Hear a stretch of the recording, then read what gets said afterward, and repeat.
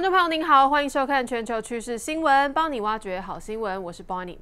澳洲的一对兄妹最近在户外寻宝的时候，意外挖出了数千块色泽绚丽又珍贵的蛋白石，总价值居然高达台币两千六百二十万。这一对兄妹的父母从上世纪六零年代就开始从事开采和出售蛋白石的生意。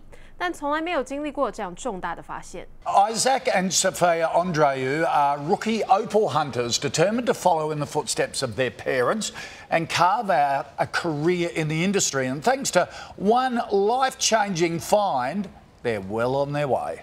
哥哥 Isaac Andrew 和妹妹 Sophia 日前在一个名为约瓦的小镇意外挖掘出许多珍贵的宝石，总重量高达一百五十公斤。And I think I, I speak for Isaac as well when the number one goal really is just to share with the world what we've found.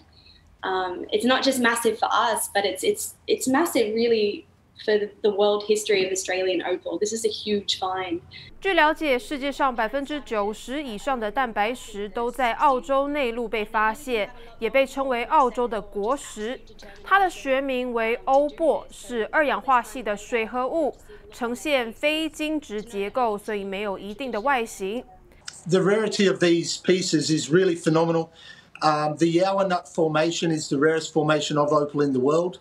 It's um, only found in one tiny, tiny little spot in the middle of uh, uh, central to uh, central South Queensland.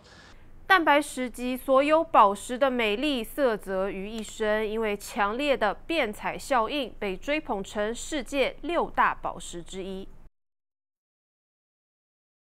以巴冲突持续升温，以色列的军方以及统治加萨走廊的巴勒斯坦武装组织哈马斯交战进入第二周。哈马斯仍然向以色列发动火箭猛轰，以色列呢也对加萨发动了数十场空袭。十五号，以色列不仅是炸毁了位在加萨走廊的美联社半岛电视台的媒体大楼，另外呢，一栋三层楼的难民营也被轰炸，一家十口被炸死，只有一名婴儿幸存。而根据了解，这一周下来，这一场暴力冲突已经造成了至少两百零八人死亡。但是以色列的总理尼坦雅态度仍然坚硬，表示不会停火。轰一声巨响，十二层楼高的大楼瞬间粉碎。美联社和半岛电视台位于加萨的办公大楼遭到炸毁。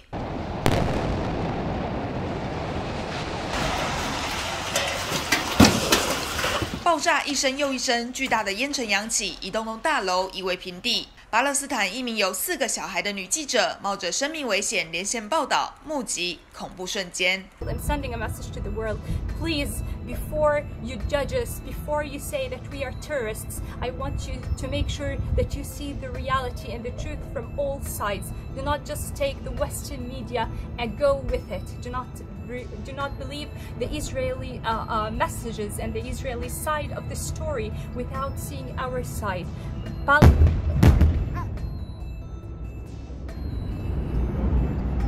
As you can see now, the building has been brought down. It has been fully destructed.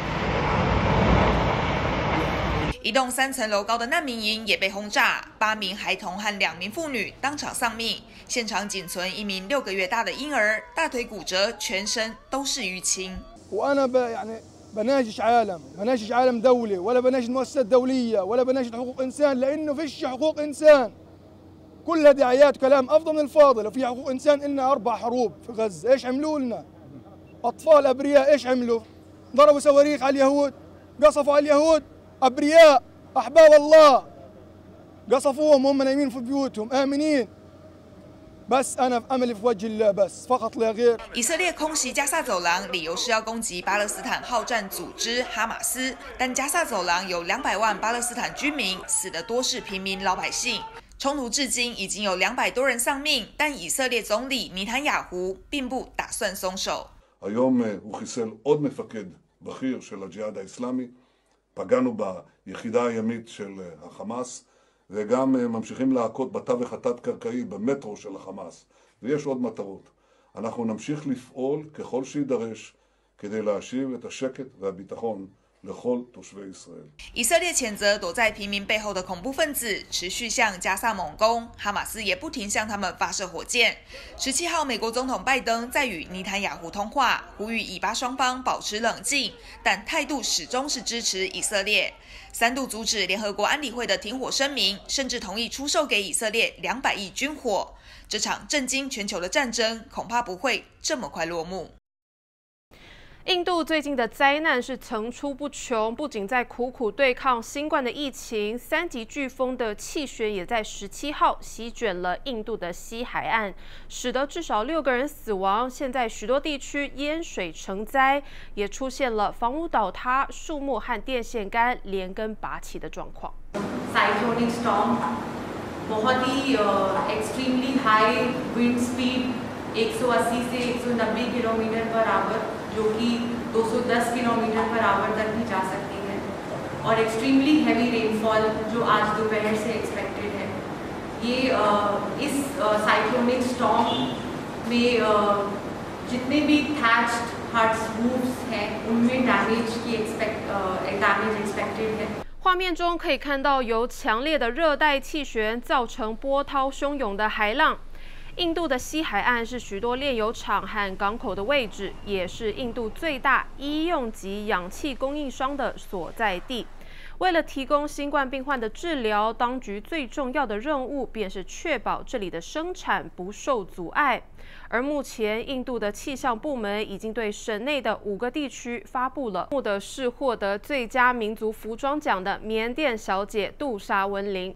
她先前在舞台走秀的时候，突然展开了写有为缅甸祈祷的标语，希望全球来关注缅甸的政变。缅甸军方在今年的二月一号以大选舞弊为由发动政变，民选领袖翁山苏基和全球民主联盟的官员都被逮捕。之后，缅甸便陷入了严重的动乱，全国几乎都有反军方的抗议活动进行。目前已经有多达七百八十八人在军方的镇压下身亡，而被控六项罪名、被关押多时的翁山苏基，终于确定将会在二十四号亲自出庭受审。历史上的今天，要带您回到一八六八年的五月十八号，这一天是俄罗斯帝国最后的沙皇尼古拉二世的生日。他出生在俄罗斯的圣彼得堡。尼古拉二世是前任沙皇与丹麦公主达格玛的长子，还是皇太子的时候，还曾经是西伯利亚铁路建设委员会的主席。一八九五年，尼古拉二世登基成沙皇之后，他一度跟日本爆发战争，还带领了国家加入一次大战，导致全国死伤无数，粮食短缺。这导致了尼古拉二世逐渐失去了各个阶级民众的支持，最后在一九一七年爆发了二月革命。在同年的三月十五号，他被迫退位。退位之后，他与一家妻小被当时的临时政府安置于西伯利亚，一直到隔年的七月十六号凌晨，列宁领导的军队决定处决沙皇一家，并且使用硫酸和汽油来销毁他们的遗体。当时的尼古拉二世年仅五十岁。